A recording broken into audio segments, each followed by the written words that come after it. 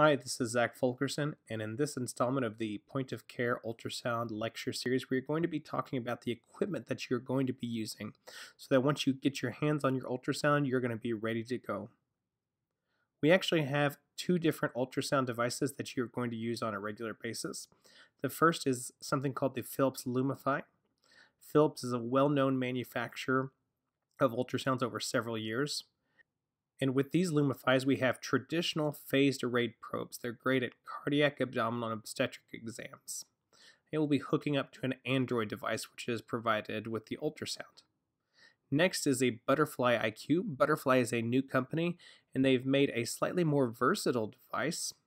It can do high frequency, medium frequency, and low frequency ultrasound, something that traditionally we have had to use at least two or three ultrasound probes to achieve and this is all done with a single probe. It connects to an iPad, which is also provided. So let's take a look at these one at a time. We're going to start with the Philips Lumify.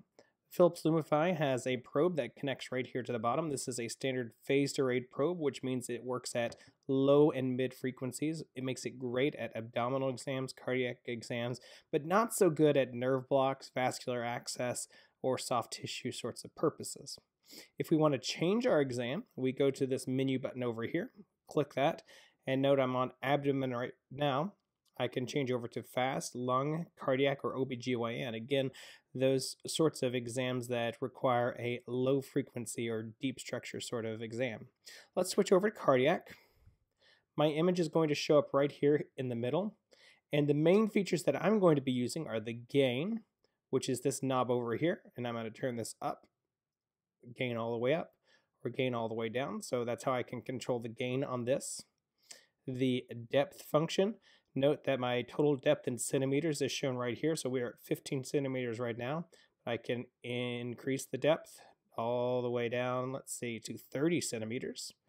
And I can decrease the depth all the way down to one centimeter. But as you can see here, you're going to get a pretty poor view with this particular phased arrayed probe. Again, the phased arrayed probe is not used for um, for shallow structures, only a couple centimeters. So really, the sweet spot here is going to be somewhere in the 10 to 15 centimeter range.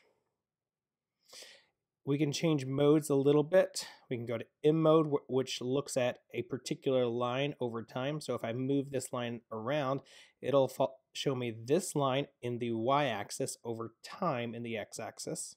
I can go back to my 2D mode.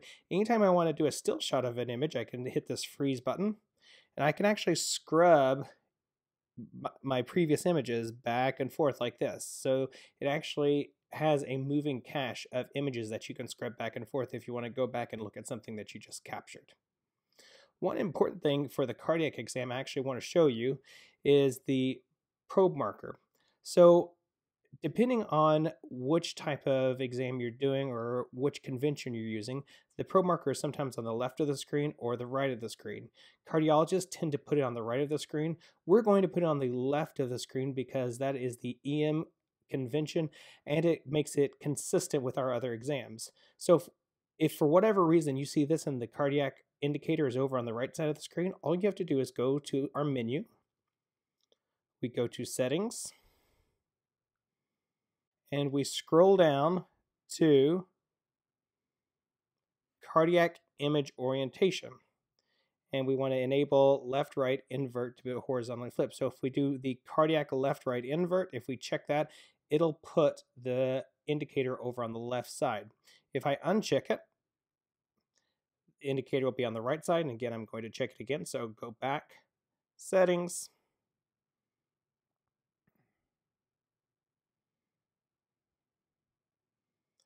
cardiac, left, right, invert. We're going to check that, go back, and once again, the indicator is over on the left side. So that is the Philips probe. Again, we're going to be using this primarily for cardiac, OBGYN, abdominal aorta, uh, any sort of abdominal exam such as fast exam.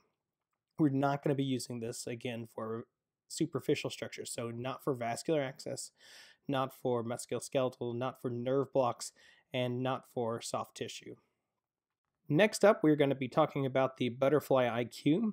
Usually when you put the probe in the iPad, the app automatically comes up. If it doesn't and you need to get, get to it from the main screen, you just click on this butterfly icon and it'll take you right into the program. The probe itself looks like a phased arrayed probe. It looks very similar. The battery is actually inside. It's a little bit heavier than the Philips Lumify. And it's a little bit more of a versatile probe. Um, it compromises a little bit in how good the image looks, but as opposed to the Philips Lumify, this can actually do superficial structures. So this can do vascular access, nerve blocks, and soft tissue, in addition to cardiac, abdominal, OBGYN, and all the deeper stuff that you're going to be looking at. So it's a little bit more versatile, but it compromises a little bit in image quality. Usually if you aren't taking an image for long enough, it'll do this auto freeze, so we're going to tap on that. and we're going to go through the basic functions that you're going to be uh, using.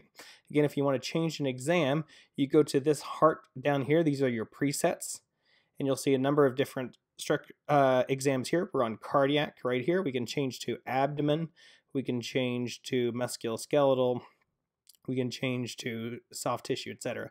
Let's go to cardiac real quick. Now, if you want to change the depth, note that the depth is all over here on the right side. That's the opposite side of the screen as uh, compared with the Lumify. And there are no knobs here like we had on the Lumify. Instead, all we're going to do is we're going to drag this down and drag this up to change the depth. Again, it auto freezes if you're not doing anything in a while. So we can drag all the way down to very shallow depth and we can drag up. And if you want to change the gain, all you have to do is go to the right to increase the gain, the left to decrease the gain. We talked about a couple of different modes like M mode before.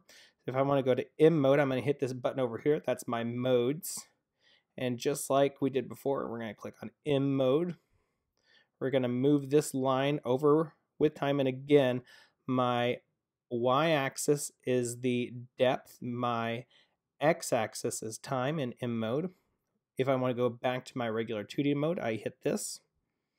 And again, we're in cardiac mode. We talked about before this indicator is on the right in standard cardiac format. It's over on the left in the EM and radiology format. We've been using the radiology and EM format for the sake of consistency. To move this over, all I have to do is tap this, excuse me, there we go, is tap that at the top and it'll move it from the left to the right or vice versa. So if I tap again, it'll move to the right. If I tap that way, it'll move to the left. So again, the left is what we're going to be using for all of our exams. Again, if I change over to a different exam, we're going to go to we're going to go to vascular.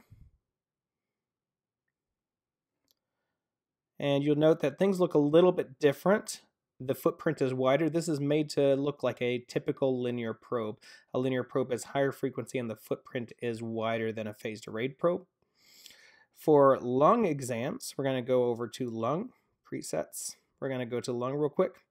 And lung, if we're really interested in only the pleura, we typically used a, if we're using a standard ultrasound, we use a linear probe.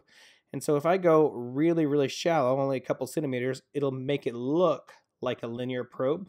Again, I can change all this stuff. Now, if I increase the depth, usually if I increase the depth on a standard ultrasound, I'm actually going to change over to either a curvilinear or phased array probe. But look what happens with this. If I increase the depth, it automatically changes to something that looks more like a curvilinear probe, which is the type of probe that I would be using on a traditional ultrasound.